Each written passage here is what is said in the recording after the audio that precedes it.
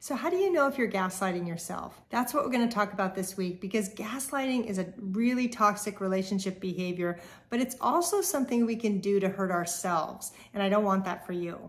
So what we're going to do in this video is we're going to talk about what does gaslighting yourself look like and what's one quick tool that's very powerful you can use today to stop doing that destructive behavior. Uh, first, my name is Michelle Farris. I'm a psychotherapist and I love helping people create relationships that work. So what does gaslighting yourself even mean? It basically is when you're questioning your own reality and your own perceptions because you assume that they're wrong and you assume that what other people think is more important than what you think. So you tend in relationship to go along with what other people are saying about you versus having your own opinions and your own thoughts.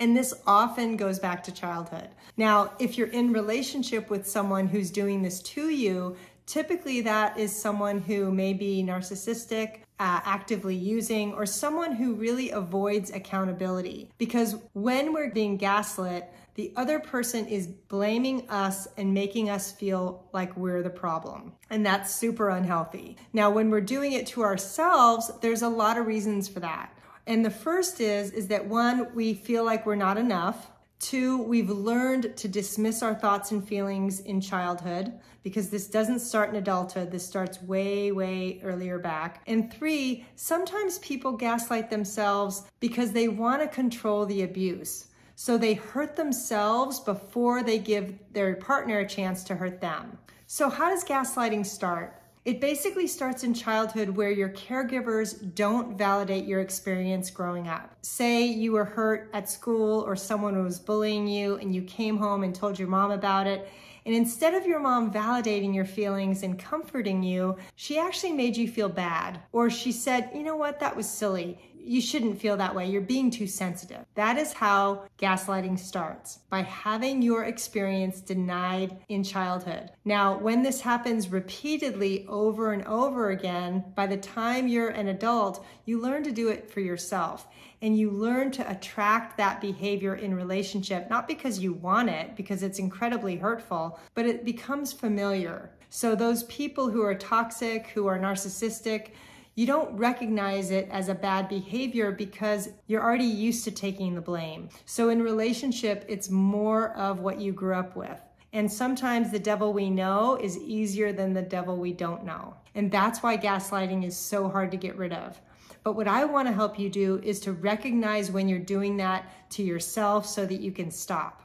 Now, the other thing that happens in childhood is if you were a child that was the truth teller and you spotted dysfunctional behavior and you spoke about it, sometimes that really can threaten a family and they will try to shut us up. And that also really hurts our self esteem because when we highlight a behavior like abuse or alcoholism or rage and it gets denied, that's even more damaging to our self esteem because nobody's seeing our pain or nobody is addressing our trauma. And that really erodes a, a child's confidence and creates a lot of self doubt. So in adult relationships, they will put up with abuse because they're used to it. And again, this doesn't make us bad or wrong. It just means that that's part of what we learned. And we have to have a lot of compassion for ourselves. So what does it mean to gaslight yourself? Here are some examples. One is telling yourself that what you say or what you do doesn't matter. It's also dismissing your thoughts, especially when someone else disagrees with them.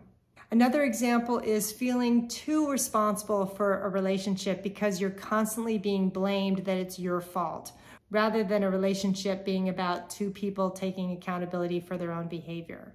So how do you stop gaslighting yourself? What I want you to do is I want you to go back and find your truth because in childhood, your truth was denied. You did not learn to honor your own perceptions or to cultivate your intuition or to recognize those, those little feelings of fear or distrust or not being safe. You learned to ignore those because they weren't validated repeatedly for you.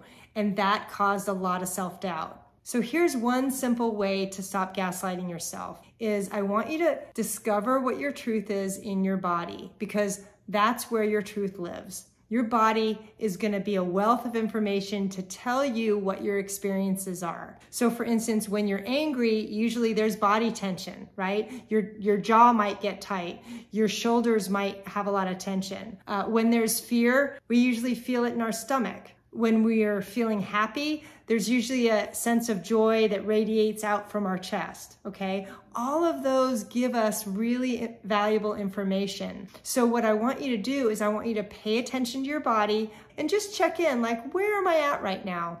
What am I feeling? If I'm around a certain person, how do I feel? Do I feel safe? What does safety feel like to you? Are you feeling afraid? because those feelings we have every minute of every day. The difference when we're gaslighting ourselves is that we don't honor them. And what I want you to do to honor them is to pay attention because, again, your truth lives inside of you and it's subjective, which means that somebody else could disagree with it, but this is your truth. And your truth can never be wrong. And the antidote to gaslighting yourself is to find your truth and to start honoring it because that's how you're going to start to set better boundaries. That's how you're going to start to recognize abusive behavior. And that's how you're going to start feeling better about yourself. And that's what I want for you. So what I want you to do is I want you to tell me in the comments, how can you start recognizing your truth in your body? So the next thing I want you to do is hit subscribe because I would love it if you're part of my community. And go watch my video on stop abandoning yourself and building self-trust because that's gonna be your next step. Thanks so much.